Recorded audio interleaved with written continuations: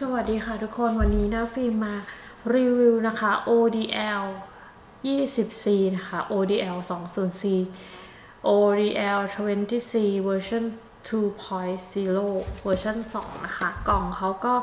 มาในแบบที่มันเป็นกระดาษรักโลกนะคะ เหมือนเดิมนะคะ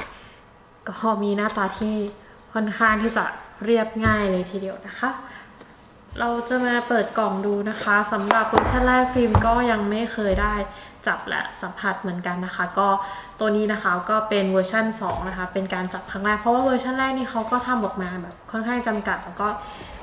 เหมือนจะมีปัญหาเรื่องซอฟต์แวร์บางประการนะคะเขาก็เลยแบบหยุดผลิตไปนะคะ แต่ว่าคือพอมาทราบว่าเป็น ODL 24 ซึ่งมันเป็นเวอร์ชัน2 แล้วใส่หลอด SBT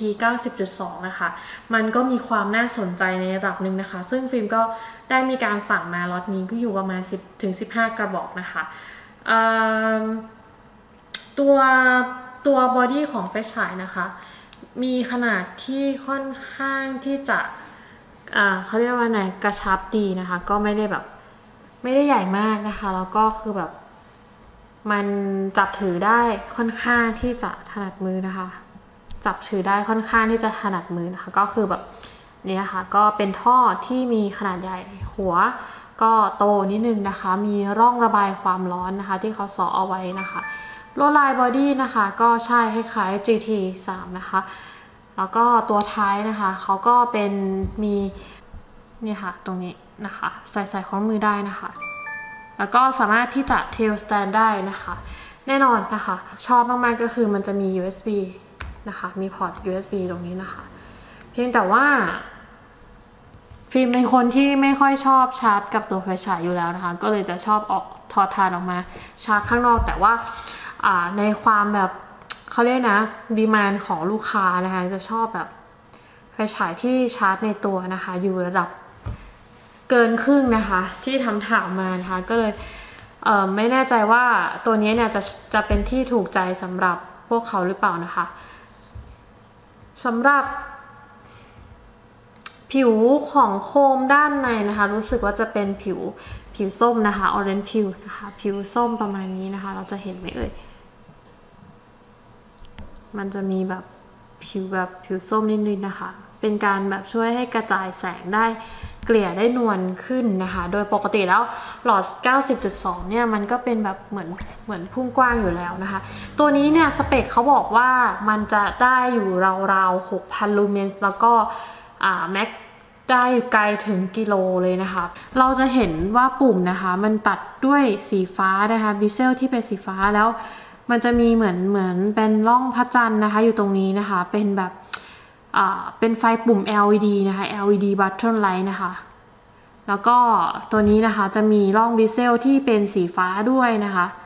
กระจกก็เคลือบเงามานะคะ ตัวนี้ราคานะคะที่อยู่หน้าเว็บนะคะ ตกใจมากๆ เพราะว่าค่ายนี้ถ้าทำไซส์ขนาดนี้เนี่ย มันอาจจะต้องมี 3,000 กว่า แล้วก็เป็นหลอด SPT 90.2 เนี่ย แต่ราคาเนี่ยเปิดตัวมาให้แค่อยู่ 2 แค่ราคาที่ 2,000 กว่าบาทนะคะ แต่เขาแง้มๆมาแบบประมาณว่าเขาอาจจะทำเป็น limited นะคะ ไม่แน่ใจว่าจะคำว่า limited ของเขาเนี่ย บางทีเขาอาจจะผลิตเพิ่มก็ได้นะคะ ถ้ามีมีคนที่สนใจเยอะนะคะ 90.2 นะคะ แสงเขาก็จะมีความแบบspot ตรงกลางที่จะเข้มโต แล้วก็มี spill ด้านข้างด้วยนะคะ มีรีวิวแสงอยู่ที่ท้ายคลิปนะคะอะไม่รอช้าก็ เรามาดูอุปกรณ์ในกล่องนะคะ ที่เขาให้มานะคะตรงนี้ มีแผ่นคู่มือนะคะ ต้องบอกก่อนว่าตัวนี้เนี่ยใส่เป็นหลอดอใส่เป็น Anduril UI นะคะเวอร์ชัน2นะซึ่งเวอร์ชัน2เนี่ยมันจะมีทั้ง Simple UI แล้วก็เป็น Advanced UI นะคะ ซึ่งในการใช้งานง่ายๆนะคะ ก็คือเป็น Simple UI แต่ว่าถ้าเป็น Advanced UI เนี่ย เราสามารถที่จะเข้าโหมดกระพริบ ปรับการตั้งค่าต่างๆนะคะ ปรับเขาเรียกอะไรนะฟิล์มก็เข้าไม่ถึงเหมือนกันนะคะ เพราะว่าไม่ค่อยได้เล่นโหมด อะไรที่เป็น S1 นะคะ ก็มีมีหลายอย่างนะคะ เราสามารถที่จะดู paragraph ของเจ้า ดูตารางของมันได้นะคะ เราลอง search ดูนะคะ เพราะว่ามันเป็น free firmware นะคะ เราสามารถดูได้ที่ ที่ Google ทั่วไปเลยนะคะ แล้วก็พิมพ์ดูว่ามันเป็นการใช้งานแบบไหนนะคะแต่ว่าฟิล์มจะให้ดูนะคะ การใช้งานคร่าวๆนะ ระหว่าง Simple กับ Advanced UI นะคะ เผื่อว่าคนที่ซื้อไปจะมีความงงนิดนึงนะคะในหน้านี้นะคะเขาก็จะมีสเปคให้นะคะ แต่ว่าพิมพ์กระดาษเนี่ยไม่ค่อยแบบใส่ใจเท่าไหร่นะคะ จะเป็นกระดาษ A4 ธรรมดาอะไรอย่างนี้นะคะ เขาเขียนว่า power นะคะ 73 วัตต์นะคะ intensity 160,000 cd นะคะ อ่า แล้วก็ output ที่ 6,000 lumens แล้วก็ distance ที่ประมาณ 800 เมตร ใช่ไหม แต่ว่าหน้าเว็บไซต์ หน้าเว็บไซต์บางเว็บเขาบอกว่ามันได้ประมาณ 1 กิโลเมตรนะคะ เอาเป็นว่า 800 ถึง 1 กิโลเมตร น่าจะ น่าจะเอาอยู่นะคะ แล้วก็ใช้แบตเตอรี่นะคะ ขอให้ดูตรงนี้ก่อนละกัน ใช้แบตเตอรี่นะคะ 26650 หรือจะใช้ 18650 ก็ได้นะคะ เป็นหัวเรียบนะคะ สามารถที่จะใช้ได้ทั้งสองขนาด แต่ถ้าเราใช้เป็น 18650 เนี่ย เราเราต้องใส่ท่อแปลง ซึ่งเขาให้มาแล้วนะคะ เป็นเป็นท่อใส่ใส่นะคะ วัสดุนะคะก็เป็นอลูมิเนียมนะคะ Type 3 Hard Coat Anodizing น้ำหนักนะคะ ไม่รวมแบตเตอรี่อยู่ที่ 300 กรัมนะคะ มีจุดสำคัญก็คือตรง Type C Charging นะคะ ตรงนี้ตรงตรงจุกจุกชาร์จของเขานะคะ ตรงนี้เป็น Type C นะคะเดี๋ยวแกะให้ดูอีกรอบหนึ่งจะชาร์จอยู่ที่ Max 2 a m 2 a m นะคะ ชาร์จเร็วอยู่ที่0 a m อ่า2 a m นะคะ แล้วก็มีวงจรป้องกันการชาร์จเกินนะคะ over uh, overcharge protection function นะคะ แล้วก็มีอ่า when you charging will show indicator นะคะ ก็จะโชว์สถานะการชาร์จนะคะ ระหว่างที่ชาร์จอยู่แบตยังไม่เต็มนะคะ มันจะเป็น indicator อ่า red แล้วก็ระหว่างที่มันมันเต็มนะคะ มันจะอ่าขึ้นเป็น green นะคะ full charge นะคะ ก็เป็น green แล้วก็มีโหมด discharge ด้วยนะคะ แต่เราอาจจะต้องหาสายมาแปลงออกเป็นอ่า ด้วยตัวเองนะคะ ก็คือเอาสาย Type C ตรงนี้ต่อ USB นะคะ USB แล้วก็จ่ายจาก USB ตัวนั้นเนี่ย ไปสู่อุปกรณ์ device ของเรานะคะ ซึ่งเขา max discharge อยู่ที่ 2 m เช่น2 a m เช่นกันนะคะ ก็คืออ่า true amp discharging นะคะ true มีวงจรนะคะ ถ้าเราชาร์จอุปกรณ์นะคะ จนมันมันออกไปไม่ได้แล้วมันจะ ดับอัตโนมัตินะคะ มันจะปิดการ discharge ให้อัตโนมัตินะคะ แต่ไม่รู้ว่าจะได้ใช้ไหม เพราะว่าเออมันมันอาจจะไม่ได้จำเป็นขนาดนั้นนะคะ เพราะว่าจริงๆแล้วออกไปข้างนอกเราก็ไม่ได้อยากเอาไฟฉายของเรานะคะ เป็น power bank อะไรเท่าไหร่นะคะ ก็เอาเป็นเหมือนกับเป็นฉุกเฉินแล้วกันเนาะ โดยปกติเราต้องการตัวที่มาชาร์จไฟฉายเรามากกว่านะคะ โดยประมาณนั้นนะคะ ในส่วนของท่อด้านในนะคะ เดี๋ยวพิมจะแกะให้ดู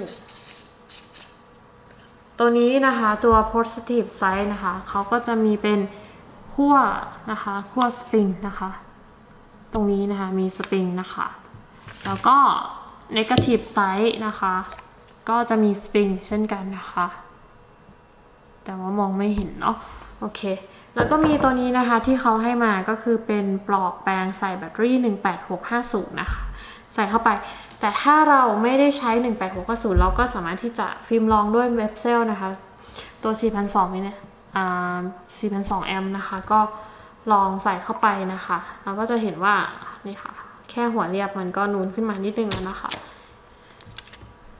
แล้วก็ใส่เข้าไปนะคะ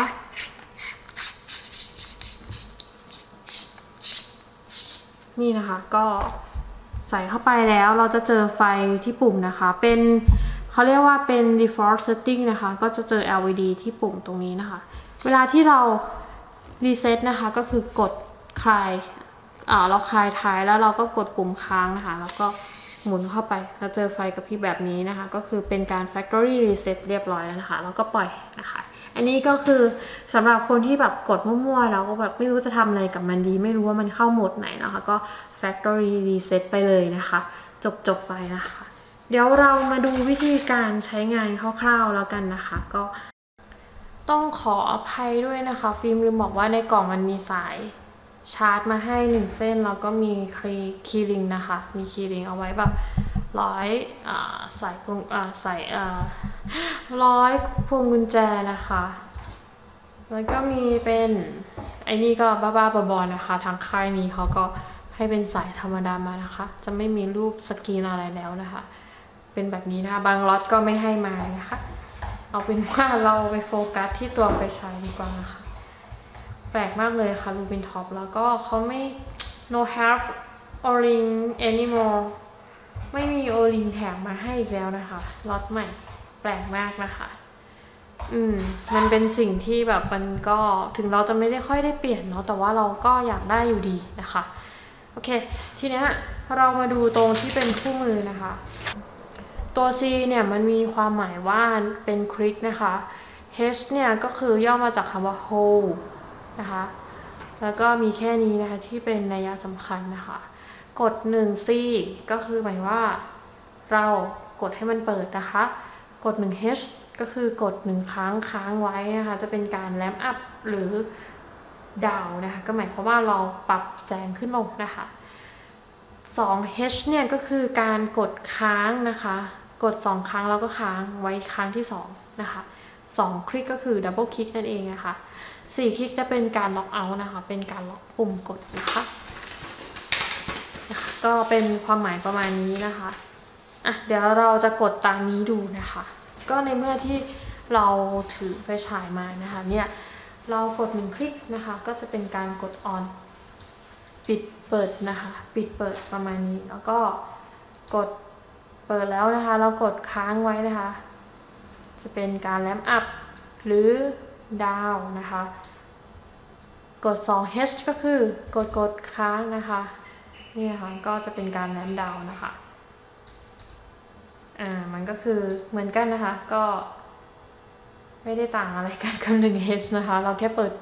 ปล่อยปล่อยมือก็แค่นั้นจบนะคะ ดับเบิลคลิกนะคะ จะไปสู่โหมด highest level ก็คือโหมดที่สว่างสุดๆนะคะโฟคลิกจะเป็นการล็อกปุ่มกดนะคะ ล็อกปุ่มกดล็อกเอาท์นะคะ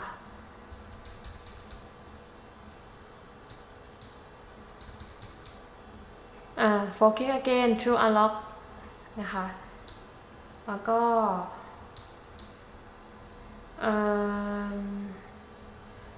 ระหว่างที่มันปิดอยู่น่าจะกดก็กดค้างนะคะ เรากด 2H นะคะก็คือ คลิกคลิกเราครั้งที่2ก็คือเราค้างไว้มันจะไปสู่ momentary high นะคะ ก็คือไป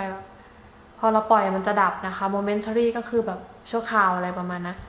ประมาณนี้นะคะ เรากดแบบที่เราไม่ต้องเปิดไฟฉายแล้วค่ะแค่นั้นเองนะคะแล้วปล่อยแล้วก็ดับนะคะสามคลิกนะเรามาบรรทัดที่สองแล้วนะ สอง H สามคลิกสี่คลิก อะสามคลิกนะคะ จะเป็นแบตเตอรี่เช็คนะคะ อ่า แบตเตอรี่เช็ค เช็คนะคะหนึ่งสองสามหนึ่งสองสามสี่หนึ่งนะคะ มี อะ มันมีการคลิกแค่ครั้งเดียวใช่ไหมคะ เอาใหม่ triple คลิก เช็คแบตเตอรี่ อะ ไป ไปเข้าสี่ครั้งล้วเอาใหม่ triple click to check battery หนึ่งสองสามสี่อันนี้จากจากที่มันปิดอยู่นะคะ เป็นสี่จุดหนึ่งนะคะ แล้วก็ form off นะคะ แล้วก็ต้องเราจะไปที่โหมด advanced UI นะคะ ก็คือตัวนี้นะคะ อันนี้น่าจะเป็นบรรทัด form off นะคะ แล้วก็คือไปที่ 10H นะคะ ไป switch advanced UI นะคะ แล้วก็มี 15 คลิกเป็นการเช็คเวอร์ชันนะคะ เดี๋ยวเราไปที่ 10H นะคะ ก็คือเราจะไปที่ Advanced UI นะคะ เพราะว่าตรงนี้มันไม่ได้มีอะไรแล้วนะคะ ก็มีแค่นี้นะคะ ก็ไม่ได้มี strobe ให้เล่นด้วยระหว่าง Simple UI นะคะ โอเค เราจะไปที่ 10H 1 2 3 4 5 6 7 8 9 10 10H อะไม่รู้ไปหรือยัง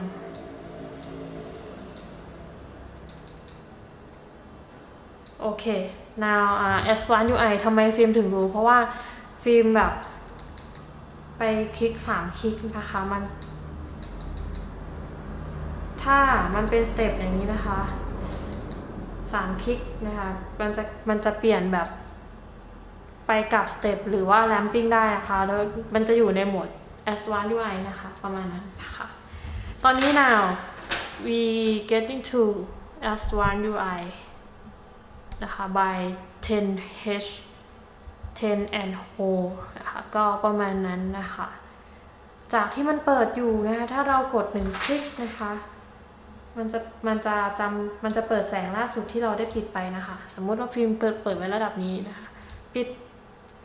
เปิดนะคะเห็นไหม ก็เป็นโหมดที่แจ๋วดีเหมือนกันนะคะอ่าแล้วก็คือเรากดกดหนึ่งแล้วค้างไว้มันจะไล่มาจากต่ำไปสูงนะคะ แล้วก็ 2H lamp down นะคะ ก็เอาเลื่อนลงนะคะ ถ้าเราอยู่ในโหมดใดเรากดคลิกนะคะ มันจะไปโหมดสูงสุดและต่ำสุดนะคะ แล้วก็ 3 คลิกนะคะ อย่างที่บอก 1 2 3 แล้วกดค้างดู อันนี้จะไปสเต็ป1 2 3อะ sorry อันนี้ไปคีย์เสีย 1 2 3 อ่ามันก็จะกลับไปแลนดิ้งเหมือนเดิมนะคะ ก็คือเป็นวิธีการที่เราสลับโหมดนะคะ ส่วนการกด 4 คลิกนะคะก็มันจะเป็นการล็อกแต่ว่าในล็อกเนี่ยเราสามารถที่จะเข้าโหมด moon ได้นะคะนะคะ ก็คือเดี๋ยวฟิล์มทดลองให้ดูตรงนี้นะคะที่เขาบอก มันจะมีโหมดซ่อนอยู่ในโหมดของ 4 คลิกนะคะ ก็คือ 1 กด 1 ครั้งเข้า moon 2ครั้งนะคะ เข้า low level นะคะ4 four เอ่อ 4C ก็คือปลดล็อกนะคะ 4H ปลดล็อกแล้วก็ไปที่โหมด floor ก็โหมด floor ก็คือโหมดต่ำสุดนะคะ เดี๋ยวเราจะทำให้ดูนะคะ1 2 3 4ตอนนี้ก็คือล็อกล็อกใช่ไหมคะ แล้วก็กด 1H จะไปสู่มูลนะคะ1ครั้งนะคะ นี่นะคะคือมูล 1ครั้งนะคะ from lock out นะคะ กด 2H ก็คือกด 2 ครั้งแล้วก็กดค้างนะคะ มันจะไปสู่โหมด low level นะคะ แล้วก็4คลิกอ่าก็ก็ไป unlock นะคะแล้วนี้เราก็เล่นตามนี้นะคะ ไปเรื่องปกตินะคะ มีโหมด sunset charmer ด้วยนะคะ กด 5 คลิกนะคะ แต่ว่าฟิล์มยังไม่ได้เล่นนะคะ sunset เอาไปเล่นกันเองนะคะ มีโหมด 5C นะคะ 5 คลิกก็คือไป tactical mode 1 2 3 4 5 เรา มันจะเหมือนเราปิด มันเหมือนเราปิด เหมือนมันปิดไปเลย ลองกดค้างดูสิอ๋อ tactical mode นะคะ กดปุ่มหนึ่งนะคะ นี่ยิงแสงสูงเลยนะคะ tactical mode นะคะ แต่เราออกจาก tactical mode ไม่ได้นะคะ อ๋อหนึ่งสองสามสี่ห้ากดค้างนะคะ ไม่ได้ค่ะ เดี๋ยวขอรีเซ็ตนิดนึงนะคะ อ๋อ โอเค โอเคเอ่อ out from out of tactical mode นะคะ ก็คือ อ้าว เราคลายเกียร์แล้วมันหักเลยอะประมาณนั้น กด 5 คลิกนะคะ 5 คลิกจากที่มันปิดอยู่มันจะ เหมือน เหมือนปิดไปนะคะหรือไม่ก็กดรีเซ็ตไปเลยนะคะ อันนี้ไม่แน่ใจเอาใหม่ กด tactical mode ใหม่หนึ่งสองสามสี่ห้าเอากดล็อกหนึ่งสองสามสี่ห้าตอนนี้ไป tactical mode หนึ่งสองสามสี่ห้ายังอยู่นะคะ ก็กดคลายเกลียวใส่เข้าใหม่โอเคหายแล้วนะคะ แค่เราคลายเกลียวแล้วมันก็หายจากโหมด tactical mode แล้วนะจ๊ะโหมด 7H นะคะ ตรงนี้ 7H นะคะก็ตั้งค่าอะไรประมาณนี้นะคะ แต่ว่าไม่ได้เล่นนะคะ ก็ for level เหมือนเรา default มาที่ 1 ทับ 150 ใช่ไหมอ่าเป็นน่าจะเป็นกำลังแสงฟลอร์เนี่ย ระดับ 1 ลูเมนหรืออะไรสักอย่างนะคะ ประมาณนั้นนะคะ แล้วก็ number of step นะคะ สเต็ปที่เรากดเป็นข้ามเราตั้งได้เหมือนกันนะคะ default เนี่ยมัน7นะคะเราจะตั้ง 10 20 ก็ได้นะคะ อาจจะตามที่เราชอบนะคะ แล้วก็ถามว่าตารางรันทามีไหมไม่มีนะคะ ไม่มีนะคะก็มันไม่ค่อยทดสอบให้ เพราะว่ามันใส่เป็นพวกเฟิร์มแวร์ที่มันเป็น custom มานะคะ ก็เลยวัดวัดยากหน่อยนะคะ แล้วก็มี Manual Memory Config Menu นะคะ 10H นะคะ แล้วก็เนี่ย มันจะมีตารางไอเทมหนึ่งสองทำอะไรบ้างนะคะ ลองไปแปลกันดูนะคะ แล้วมีเปิดโหมด Memory Mode นะคะ ถ้า Memory Mode หายนะคะ เราไปไปเปิดไปดูตรงนี้นะคะ เห็นไหม Activate Manual Manual Memory and Save the current byte นะคะ ให้เราเปิด เปิดการจำแสงนะคะประมาณนั้นนะคะ แล้วก็อันนี้น่าจะจากที่มันปิดนะคะ เรามีเช็คแบตเตอรี่นะคะ หรือว่าเราต้องการที่จะเข้าอันนี้ฟิล์มขอใช้ไปที่โหมดนี้แล้วกันนะคะ 3H เนี่ยค่ะ ไป Candle Mode Bright Flasher Party Stop Tactical Stop นี่อันนี้คือโหมดที่มันกระพริบนะคะ จากที่มันปิดอยู่นะคะ กด 3H 1 2 3 นี่นะคะ อันนี้คือโหมด Candle Mode นะคะ Candle Mode เนี้ยเราสามารถที่จะหลีแสงขึ้นได้นะคะ เห็นไหมว่ามันเป็นแบบเหมือนแสงเทียนนะคะกระพริบอันนี้ Candle Mode นะคะแต่กด 2 คลิกอีกครั้งนะคะ จะเป็น Bright Flasher นะคะ เป็นไฟจักรยาน อีก 2 คลิกนะคะ จะเป็น Party Stop 2คลิกนะคะ จะเป็น Tactical Stop อีก 2 คลิกจะเป็น Writing Storm นะคะ Writing Storm ก็เหมือนฟ้าผ่าอะไรอย่างนี้นะคะ นะคะก็ประมาณนี้นะคะก็ UI ที่ฟิล์มได้ลองกดให้นะคะ ก็อธิบายตามนี้นะคะ ในโหมดกระพริบเราต้องเข้าไปที่ Advanced UI แล้วก็ Step ก็คือเข้า Advanced UI เท่านั้นนะคะ แต่ถ้าเรารู้สึกว่าโอเคมันยากไปนะคะ เราใช้แสงแค่ธรรมดาไม่ได้อยากจะใช้กระพริบนะคะ ก็คือ Factory Reset ได้เลยนะคะ แต่ตรงนี้นะคะไฟนะคะขอ PS นิดนึงเกือบลืมเนี่ย สำหรับไฟปุ่มนะคะ สามารถที่จะปิดได้นะคะ มันจะอยู่ตรงนี้นะคะ เมนูมันอยู่ตรงนี้นะคะ bottom right config นะคะ กด 7 ครั้งนะคะ มันจะมีปิด low high แล้วก็ blink นะคะ อ่า ตัวนี้สามารถที่จะปิดไฟปุ่มได้นะคะสำหรับคนที่อยากรู้นะคะ กด 7 คลิก 1 2 3 4 5 6 7 นะคะ เดี๋ยวมันจะไล่ไปนะคะ 1 2 3 4 5 6 7 อันนี้จะเป็นแบบ LED กระพริบนะคะ 1 2 3 4 5 6 7 ส่วนตัวนี้ก็คือเป็น off นะคะ มันยังใช้ได้อยู่นานเพียงแต่ว่า LED เนี่ยปิดตอนที่ไฟฉายปิดอยู่นะคะ แต่เปิดอยู่เห็นไหมเหมือนมันปิดนิดนึงนะคะ แต่เราปิดไปมันก็จะปิดนะคะหนึ่งสองสามสี่ห้าหกเจ็ดนะคะ ก็ติดนะคะ แต่ว่าไฟรู้สึกว่ามันไม่ได้แบบสว่างทั่วถึงนะคะ เหมือนเหมือนหลอดซ้ายสว่างกว่านี่นะคะ ไม่ได้คิดไปเองนะคะตามที่สายตาเห็นนะคะโอเคเดี๋ยวเรารีเซ็ตกันอีกรอบนะคะคลายเกลียวออกนะคะ ให้สถานะไฟมันหยุดไปนะคะ แล้วกดปุ่มค้างเอาไว้นะคะ ใส่เกลียวเข้าไปเราเจอไฟกระพริบนะคะ นี่อันนี้เสร็จแล้วนะคะก็คือ already factory reset แล้วนะคะ วิธีการเช็คว่ามันอยู่ simple ไหมก็ฟิล์มก็เอาง่ายๆ กด triple click เลย ถ้ามันไปโหมด step ไม่ได้นี่ก็แสดงว่าตอนนี้มันอยู่ใน simple UI นะคะ ตามนี้เลยนะคะ โอเค เรามาดูรีวิวแสงกันเลยนะคะทุกคน โอเค ดูรีวิวแสงนะคะ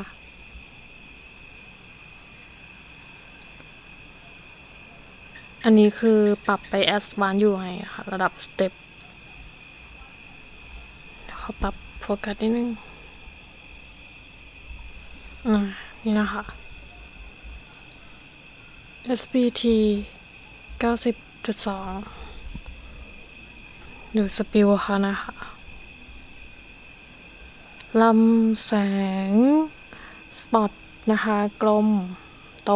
นะคะ แล้วก็มีสปิลด้านข้างนะคะ เหมือนเดิม ในที่มืด ส่องได้สบายนะคะนี่คือมืดๆเลยนะคะ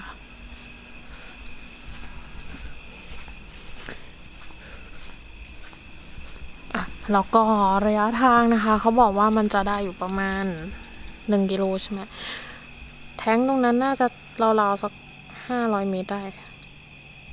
อันนี้ไม่แน่ใจนะคะ ตรงนั้นค่ะ ก็ชัดเจนนะคะ แสงดีมากนะคะ ราคาเปิดตัวมาแบบตกใจมากนะ เพราะว่าตอนแรกเข้าใจว่า มันต้องสามพันขึ้นแน่ๆนะแต่ว่าอยู่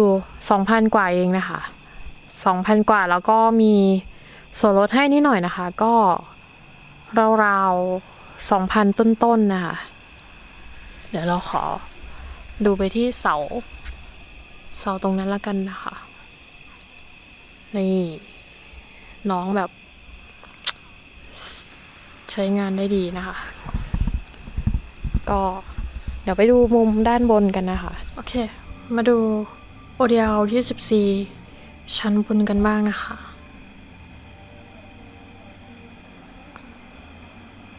อันนี้ค่ะก็ เราเปิดเทอร์โบแล้วนะคะ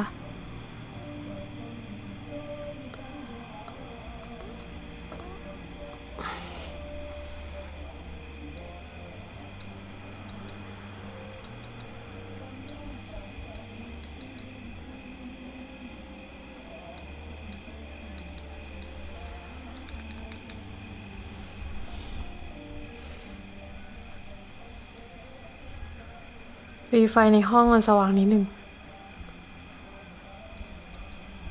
โอเค ดูตรงนั้นนะคะ โคม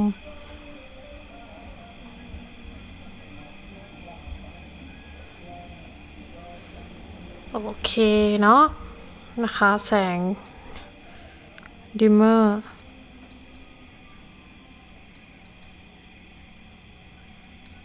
โอเคจ้ะ